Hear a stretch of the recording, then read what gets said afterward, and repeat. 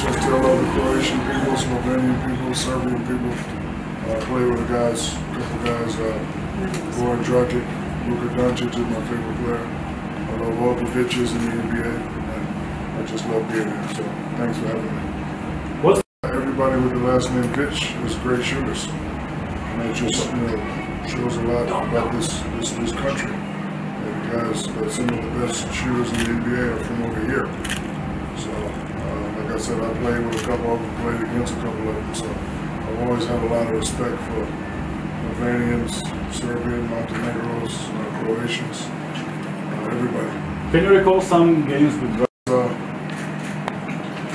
listen, I, it's amazing that everybody from this area knows how to shoot. I've said it in many times in the NBA. If your last name ends with a bitch, know how to shoot. I named myself Omilovic because one game I hit all my free throws. I don't know how I did it, but actually I was playing with Phoenix and uh, Goran Dragic who was practicing, so he counted in me Omilovic, Goran Dragic. You said so about putting a smile on people's faces, uh, either if you're a basketball player or, or DJ. People do same things. Do the same thing. Just people have come to have a good time, and just come and enjoy themselves. They pay a lot of money to see us perform, so we just want to give, give them a, a great show.